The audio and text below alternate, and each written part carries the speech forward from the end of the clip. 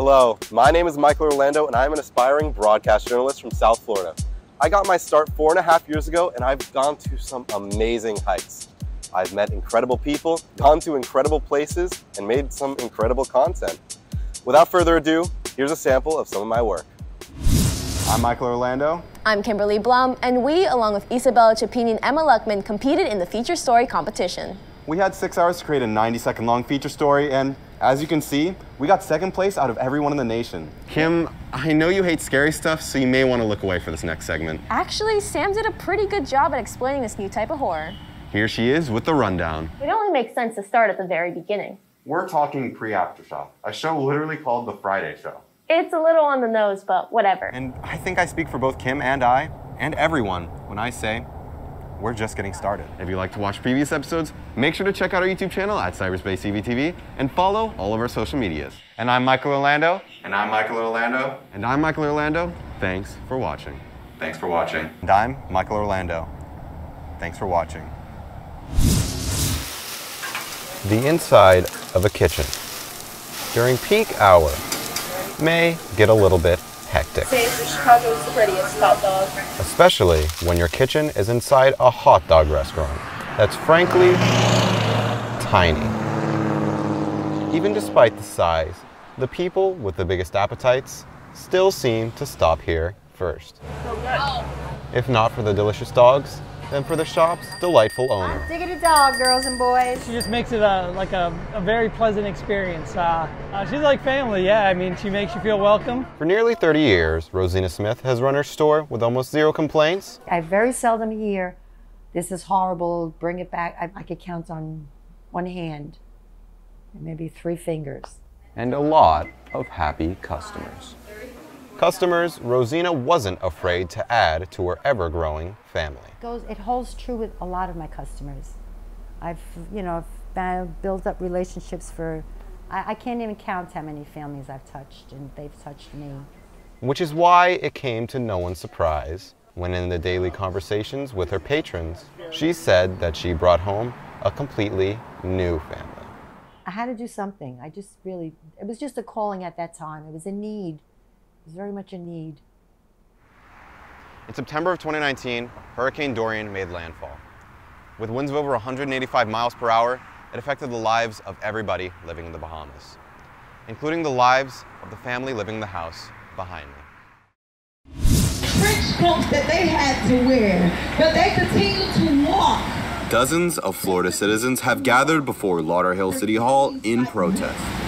That we could stand together and raise an awareness and raise our voice collectively. In protest of what is nothing short of an injustice. We're saying that we want all people to be recognized as a missing person. People of color make up only 13% of the population, yet make up 35% of all missing person reports. Unfortunately, a lot of the time, missing people of color are just labeled as runaways, which means they don't get an Amber Alert, they don't get a lot of media attention, and they definitely don't get as much law enforcement engagement as they should. People think equity and equality is the same thing, and it's not. And so there are so many times where white women get so much media attention, response, and a call to action when they are missing. And black, brown, and indigenous people, humans, we don't they don't get that same respect. Which is why everyone here at the Sound the Alarm event in Broward County are ready to make their call to action.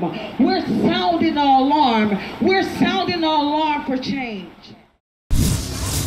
A small step in the eyes of one person could be a lot bigger in the eyes of another. So it only makes sense that thousands of steps could very well change someone's life.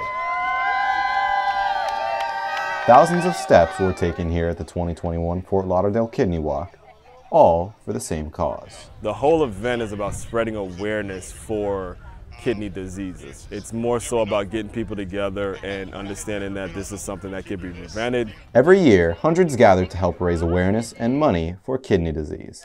We're all here supporting kidney health. And everyone gets involved.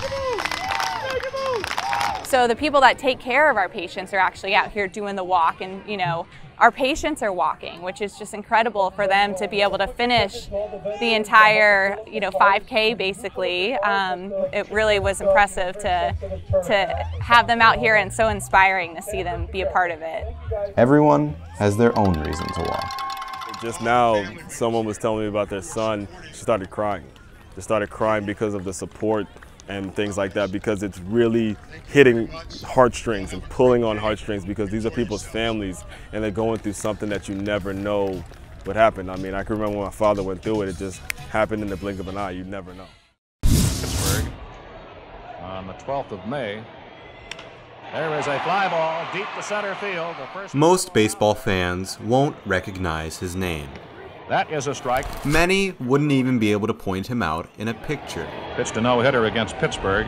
Which is why it may just be a bit of a curveball to find out that this man used to be a baseball legend. He was a Negro League baseball pitcher and outfielder. Uh, and his legacy was taken away from him by segregation in the game of baseball. Once a smash hit, he appeared in more than a few newspapers. And the number is 7,854 newspaper references we have for his career right now.